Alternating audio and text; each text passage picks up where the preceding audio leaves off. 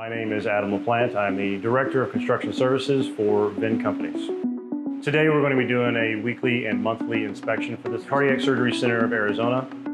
This is a 2OR cardiac facility. And so we're going to be looking over everything from the generator to med gas to uh, air pressures, things like that in the facility, all to be within code compliance for AAAHC. This provides them a service that's uh, convenience, really, to maintain life safety and environment of care books that has everything included in it with specific sections that are required by those federal accreditation agencies. We'll have everything laid out and, and documented in such a way uh, at the cadence that needs to be done.